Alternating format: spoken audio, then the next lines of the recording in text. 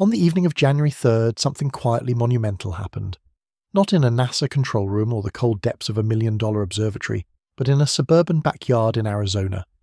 Under a clear sky, Ray Coulson, a hobbyist with a steady hand and a well maintained Dwarf 3 telescope, decided to capture a frame of the interstellar object known as 3I Atlas. He wasn't trying to make history. He wasn't part of any official agency. He didn't have access to high orbit optics, infrared spectrometers, or plasma telemetry arrays. What he had was curiosity, a thousand dollar telescope, and a clean window into the night. Ray knew what he expected to see. For weeks, the comet had been tracked across the sky, catalogued, studied, debated. Every official image so far had shown the same thing a dusty, blurred structure slowly trailing off into an uneven haze, the kind of image we've come to associate with all comets, smeared by their own sublimation, unpredictable in their shedding, shaped more by chaos than coherence. But Ray's photo didn't look like that. When the data from his exposure finished processing, what appeared on the screen stopped him cold. There, hovering against the black backdrop of deep space, was something that shouldn't exist. Not just because of what it was, but because of how clearly it was captured. At the centre of the frame was a brilliant white fuselage, not a smudge, not a gas halo, something sharp, something with edge definition. Wrapped around it was a soft blue envelope glowing faintly but cleanly, not the erratic scattering of dust or light, but something smoother, something layered. And then came the tail, Ray expected the usual. An outflow of dust trailing away from the sun. But instead, he saw two directional streams, one arching away as expected, and one pointing back, toward the sun, an anti tail. Anti tails have been recorded before, but almost always as visual illusions resulting from Earth's observational angle or scattered dust hanging in orbital planes. But this wasn't illusion. Ray's telescope didn't just capture it, it resolved it the structure, the angle, the origin point, everything about it suggested that this stream of material was real and it was moving in the wrong direction. He checked the equipment, reprocessed the stack, adjusted the contrast, swapped filters, reviewed the logs, but the image held up no glitches, no stacking error, no lens flares or software interpolation, just a high resolution view of an object that didn't seem to behave like a comet at all. By midnight, Ray posted the image online, expecting a handful of replies from fellow amateurs. What he didn't expect was silence, then an explosion of attention. Within 12 hours, his post had spread across astrophotography boards, science forums, even internal channels in research groups. People weren't dismissing it, they were stunned by it. Some skeptics claimed the image was overprocessed. Others said it had to be a post production mistake, maybe an exposure artifact but as more images rolled in from other amateurs with similar equipment, the shape kept reappearing. Not perfectly identical, but unmistakably consistent. It was there, not a smear, not a blur. Something focused, something structured. And suddenly a $500 telescope had captured something that billion dollar observatories had either missed or chosen not to show. Why? That question now hung in the air. Why did a backyard telescope reveal structure, symmetry, and glow, when professional instruments had only shown noise. And if Ray's image was real, then what exactly had we been looking at all along? Because whatever this object was, it wasn't acting like a comet anymore. To understand why Ray's image of 3i Atlas is such a disruption, we need to remind ourselves what comets are supposed to be, what we've always believed them to be. Because the rules of comet behavior aren't arbitrary. They come from decades of observation, modelling, and repetition. Comets, for all their wildness, follow a script.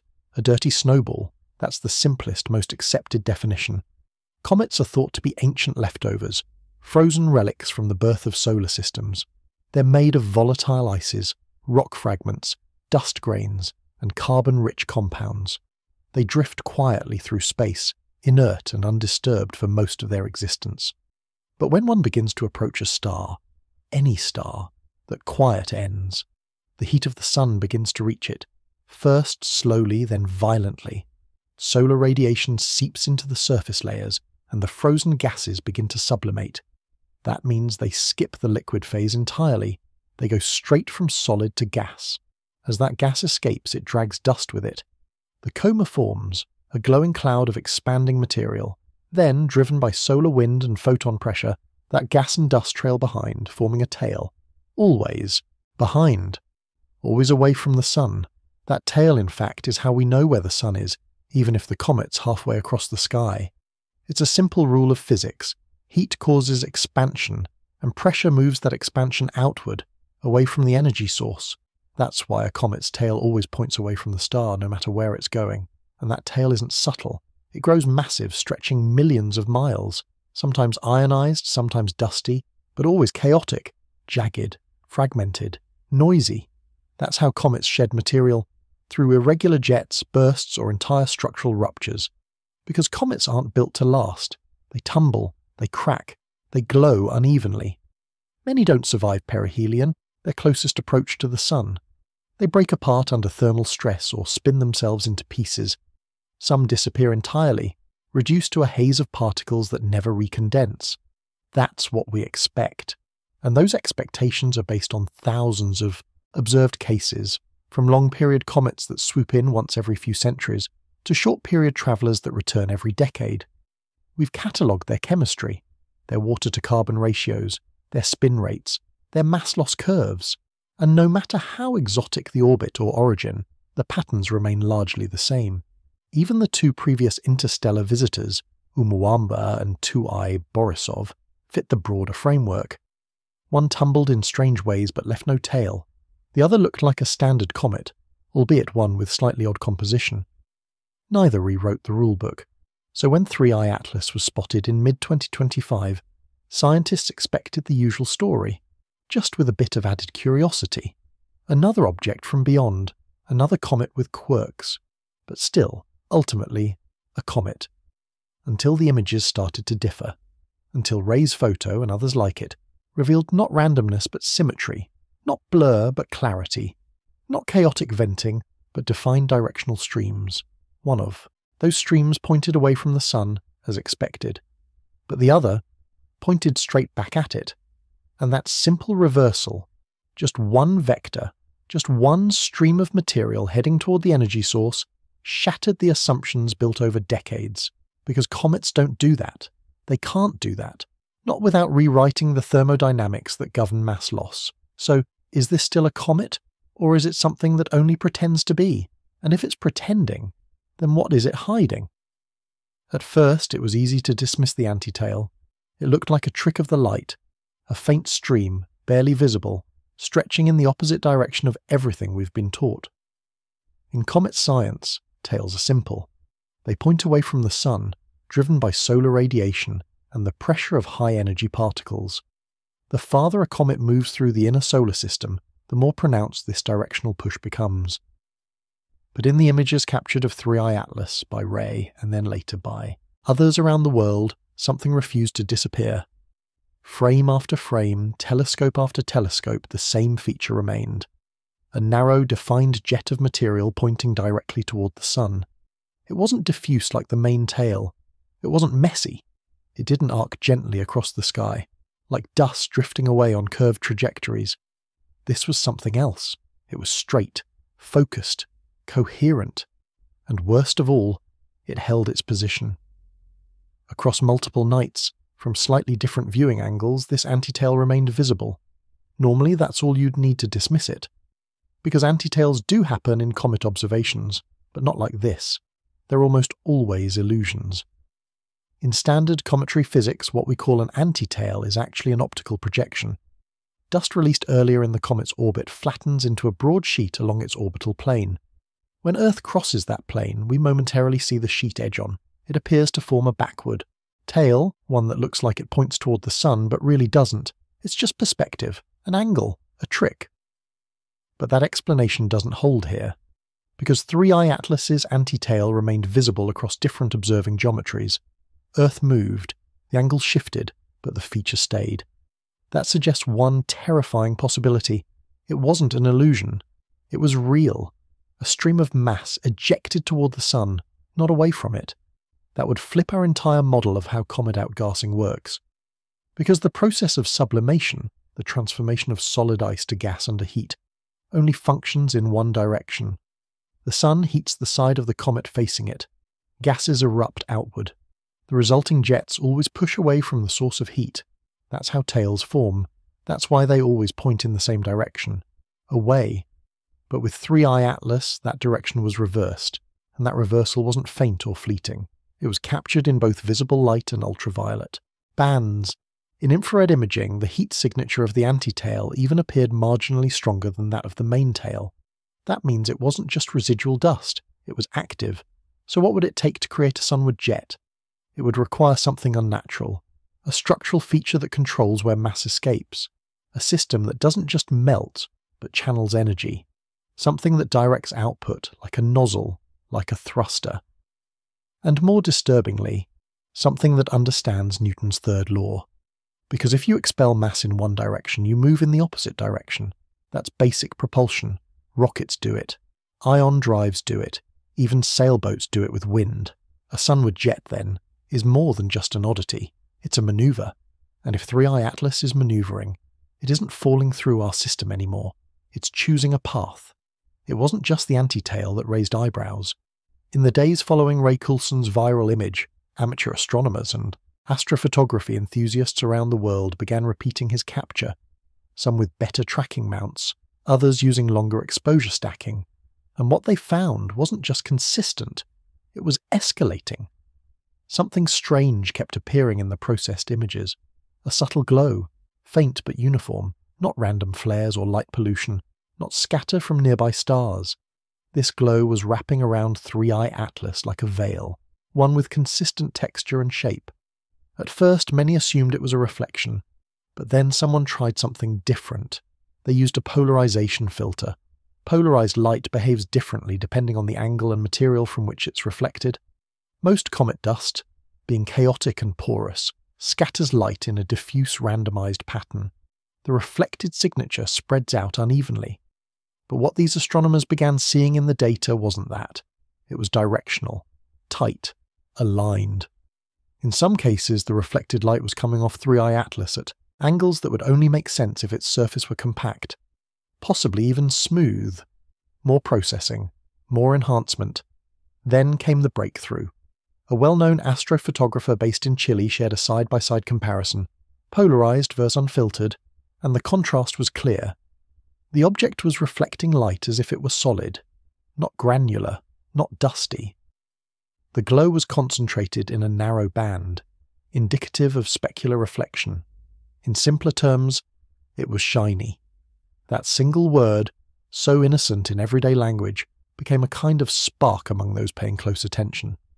Because in astrophysics, shiny is a red flag.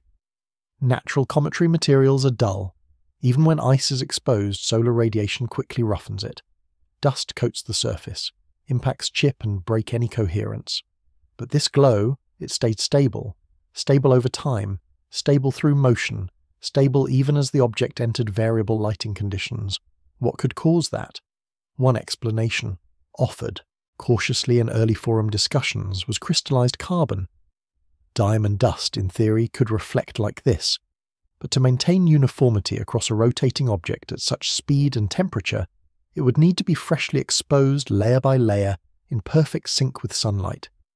The odds of that happening naturally repeatedly across multiple nights? Low.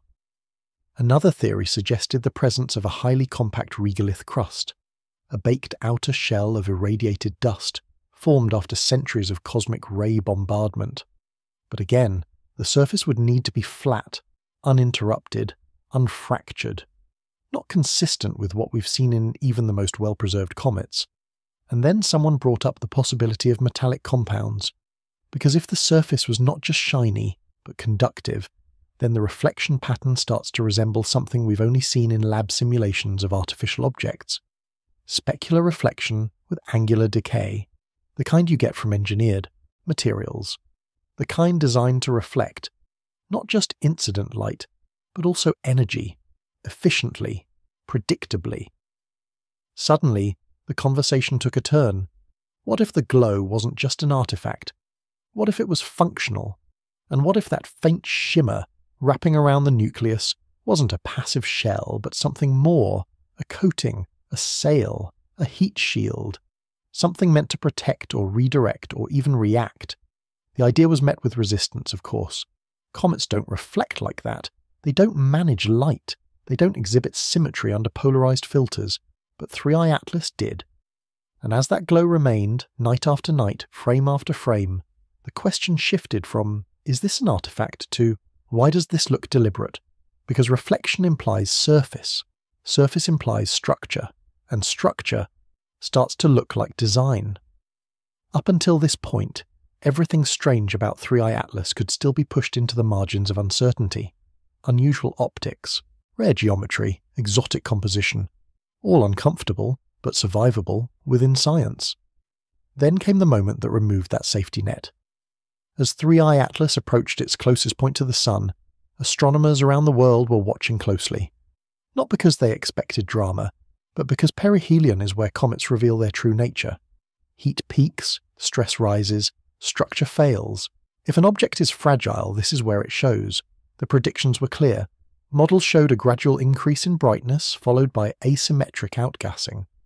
Small deviations in motion were expected, tiny nudges caused by jets venting unevenly across the surface. That's normal. That's been observed hundreds of times, but that's not what happened. For days leading into perihelion, 3i Atlas behaved with unnatural calm. Its trajectory remained almost mathematically perfect. No wobble, no rotational torque, no sudden flares. It moved as if sealed, insulated from the very forces that should have been tearing it apart. Then, within a narrow window measured in minutes, everything changed. In multiple independent data streams, from ground based observatories in Chile and Hawaii to orbital solar monitors, astronomers recorded a sudden spike in brightness. Not a gradual flare, not a plume, a sharp jump, clean, instantaneous. Almost simultaneously, trajectory solutions began to drift. At first, analysts assumed error calibration noise, solar glare, minor timing offsets, but when the same deviation appeared across unrelated instruments, the conclusion became unavoidable. 3i Atlas had changed course, not dramatically, not violently, but deliberately enough to be measured. The shift was subtle, just enough to move the object off its predicted path. But for an interstellar body moving at enormous speed, even a small deviation implies force, and that force didn't behave like gas driven thrust. Outgassing produces chaos. Jets flicker. Rotation accelerates, motion becomes noisy. This wasn't noise. The deviation followed a smooth curve, a rise, a brief plateau, then a clean return to baseline, like a pulse. More troubling still was the direction. The acceleration vector pointed almost perfectly away from the Sun, radial, not tangential. That matters, because random venting doesn't do that. To push directly outward requires either extraordinary coincidence or alignment, and alignment suggests control. As analysts dug deeper, they overlaid the timing of the deviation with solar activity logs. That's when the pattern emerged. A powerful solar flare had erupted just minutes before the trajectory shift. Not hours, not days, minutes. The flare wasn't aimed directly at 3i Atlas, but its electromagnetic precursor swept through the region precisely as the object crossed perihelion. Instruments aboard solar probes detected localized compression in the solar wind, a tightening of magnetic field lines, and at that exact moment, 3i Atlas reacted. It brightened, it accelerated, then it stabilized. If this were coincidence, it would be an extraordinary one, because thermal reactions lag. Ice takes time to heat. Gas pressure builds gradually, but this response was immediate, faster than thermal physics allows, which leaves only a few possibilities. Either 3i Atlas possesses surface materials capable of responding directly to electromagnetic change, or something on the object is sensing and reacting in real time. Neither option fits comfortably within comet science. Natural bodies absorb energy passively. They endure, they don't respond, they don't adjust, they don't pulse in sync with stellar behavior. Yet that is exactly what the data suggests happened. The object didn't just pass the sun, it interacted with it. And once that door opens, once an object shows responsiveness rather than exposure, the entire classification collapses. Because comets don't change trajectory cleanly, they don't A. Answer flares, they don't pulse, but on the morning of January 3rd, 3 Atlas did.